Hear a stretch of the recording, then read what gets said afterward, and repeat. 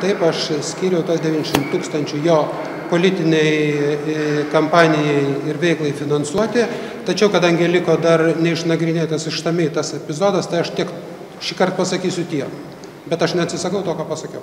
O tai dalykaus vosyliaus versija yra tai kad na jūs skolinat nekilnojamo turto verslui tai kaip Aš teismo posėdėje paminėjau, kad šitas mano teiginys neišeliminuoja nekilnojamo turto. Aš šiek tiek kalbėjau apie savo simpatijas tiek liberalams, tiek Eligijui Masiuliui kaip na, potencialiam reformatoriškam žmogui ir politiniam lyderiui, tai turbūt apibendrintai tiek ir būtų.